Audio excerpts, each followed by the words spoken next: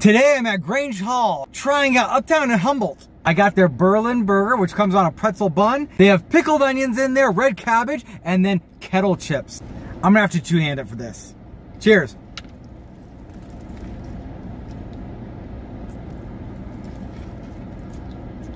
Really loving the acid in this. Between the pickled onions and the cabbage and the greens that are dressed with the vinaigrette, and then this cheese pull. Oh my God. I love the bun. Everything should come on a pretzel bun. I got the yuca fries. Just give a little dip here in the aioli. Wow. Great garlic flavor in that aioli. Great crunch on the yuca fry. Love the burger, very gourmet, and those yuca fries were so good. And that aioli, oh my gosh, took it over the top.